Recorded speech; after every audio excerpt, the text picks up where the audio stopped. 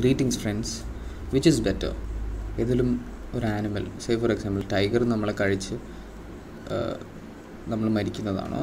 അതോ എന്തെങ്കിലും ആക്സിഡന്റ് വഴി ഇപ്പം ഷോ ഇലക്ട്രിക് ഷോക്ക് കൊണ്ട് മരിക്കുന്നതാണോ? ബെറ്റർ ഇതിനൊരു ഉത്തരം കിട്ടണമെങ്കിൽ നമുക്കൊരു ഡിസിഷനിലേക്ക് എത്തണം ഇല്ലേ? സോ ഡിസിഷൻ മേക്കിംഗ് എന്ന് പറയുന്നത് is the process of choosing among various causes of action or alternatives ഒരു ഡിസിഷൻ മേക്കിങ്ങിൽ നമ്മളൊരു ജഡ്ജ്മെന്റ് ചെയ്യുകയാണ് അല്ലേ? ഇതിന്റെ ഔട്ട്കം എന്താണെന്നനുസരിച്ച് ഈ രണ്ട് സിറ്റുവേഷൻ ഔട്ട്കമിനനുസരിച്ച് നമ്മളൊരു ജഡ്ജ്മെന്റിലേക്ക് എത്തുകയാണ് ചെയ്യുന്നത്. നമ്മൾ സാധാ ഒരു കോമൺ പീപ്പിൾ മോസ്റ്റ്ലി ഇതിന് ഉത്തരം കണ്ടുപിടിക്കുന്നത് ഹ്യൂറിസ്റ്റിക്സ് വെച്ചിട്ടാണ്. ഹ്യൂറിസ്റ്റിക്സ് എന്ന് പറയുന്നത് മെന്റൽ ഷോർട്ട് കട്ട്സ് എന്നാണ് അതിന്റെ അർത്ഥം. ഇതിന്റെ റിയൽ ഡെഫിനേഷൻ എന്ന് പറയുന്നത് mental rules of thumb that permits us to make decisions and judgements in a rapid efficient manner so decision മേക്കിങ്ങിലേക്ക് നമ്മൾ എത്തിക്കുന്ന ഒരു മെന്റൽ സെറ്റ് ഓഫ് റൂൾസിനെയാണ് ഹ്യൂറിസ്റ്റിക്സ് എന്ന് പറയുന്നത്. ഇപ്പം നിങ്ങൾ ഫസ്റ്റ് കേസിലെടുക്കുകയാണ് ടൈഗർ ടൈഗറിന്റെ അറ്റാക്ക് കൊണ്ടുണ്ടാകുന്ന ഔട്ട്കം എല്ലാം നിങ്ങൾ ന്യൂസിൽ വായിച്ചതായിട്ടും അതിന്റെ ഇൻഫർമേഷൻസ് ഒക്കെ നിങ്ങൾ ആലോചിച്ചെടുക്കും. അതാണ് ഫസ്റ്റ് കേസ് ഇതിനെയാണ് അവൈലബിലിറ്റി ഹ്യൂറിസ്റ്റിക്സ് എന്ന് പറയുന്നത്. കാരണം നമ്മൾ എളുപ്പം നമുക്ക് മൈൻഡിലോട്ട് വരുന്ന ന്യൂസുകളും ഇൻഫർമേഷൻസും ഒക്കെ അല്ലെങ്കിൽ എക്സാമ്പിൾസ് ഒക്കെ പെട്ടെന്ന് വരുന്നതിനെയാണ് അവൈലബിലിറ്റി ഹ്യൂറിസ്റ്റിക്സ് എന്ന് വിളിക്കുന്നത്. അത് നമ്മൾ ഡിസിഷൻ മേക്കിങ്ങിനെ സഹായിക്കുന്നു.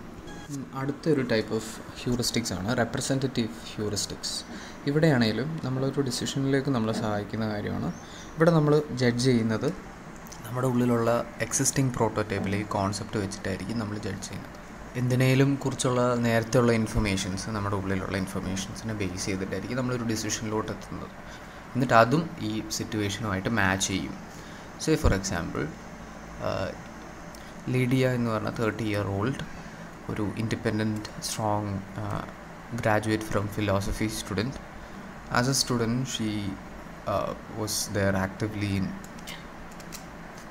anti nuclear demonstration പോലുള്ള നമ്മുടെ യു എന്നിന്റെ പ്രോഗ്രാംസിലും അതുപോലെ തന്നെ ഡിസ്ക്രിമിനേഷൻസിന് അഗെൻസ്റ്റൊക്കെ വർക്ക് ചെയ്തൊരു ലേഡിയാണ് now she's working as a bank teller അതായത് ബാങ്കിലെ റെസ്പോൺസിബിലിറ്റീസൊക്കെ പുള്ളിക്കാരിയുടെയാണ്.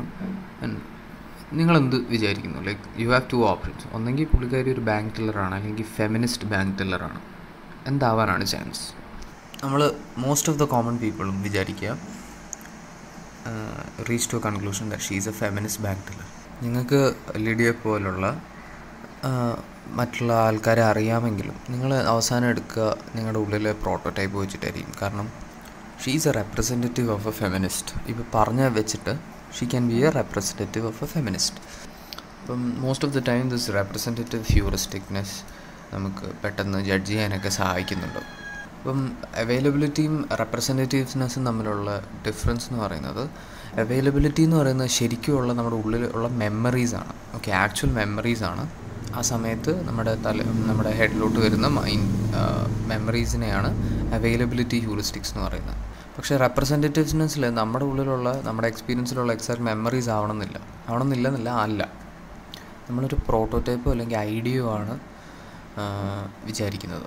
ഇനി മൂന്നാമതൊരു കൈൻഡ് ഓഫ് ഹ്യൂറിസ്റ്റിക് ആണ് ആങ്കറിങ് ആൻഡ് അഡ്ജസ്റ്റ്മെന്റ് ഹ്യൂറിസ്റ്റിക് ഇതെന്ന് പറയുന്നതും ഡിസിഷൻ മേക്കിന് സഹായിക്കുന്നു ആൻഡ് ഇവിടെ നമ്മൾ ഇൻഫർമേഷൻ എന്ന് പറയുന്നത് is accepted as a reference point but adjusted in light of various factors ഞാനൊരു എക്സാമ്പിളായിട്ട് ഒരു നിങ്ങൾ ലാസ്റ്റ് ടൈം ഇമാജിൻ ചെയ്യുക നിങ്ങൾ ലാസ്റ്റ് ടൈം ഷോപ്പിങ്ങിന് പോയപ്പം ഒരു ഡ്രസ്സ് കണ്ടു. ഇഷ്ടപ്പെട്ട ഒരു ഡ്രസ്സ് കണ്ടു.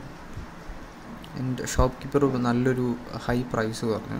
നിങ്ങൾ കുറച്ച് നേരം ബാർഗെയിൻ ചെയ്തിട്ട് അതിന്റെ ഒരു കുറച്ച് കുഴപ്പമില്ലാത്തൊരു പ്രൈസിലേക്ക് എത്തിച്ചു. പക്ഷേ നെക്സ്റ്റ് കടയിൽ പോയപ്പം നിങ്ങൾ മനസ്സിലായി ഇത്രയും വിലയൊന്നുമില്ല. മറ്റേ ഷോപ്പ് കീപ്പർ നെഗോഷിയേറ്റ് ചെയ്യാൻ റെഡി ആയിരുന്നു എന്ന് മനസ്സിലാക്കുമ്പം നമുക്ക് മനസ്സിലാവും it was not a good idea ഏറ്റവും നല്ല ഐഡിയ എന്ന് പറയുന്നത് കടയിൽ പോയിട്ട് പ്രൈസ് നോക്കിയിട്ട് അതിനനുസരിച്ച് ഷോപ്പ് ചെയ്യായിരുന്നു ഏറ്റവും നല്ലൊരു സ്ട്രാറ്റജി എന്ന് പറയുന്നത്.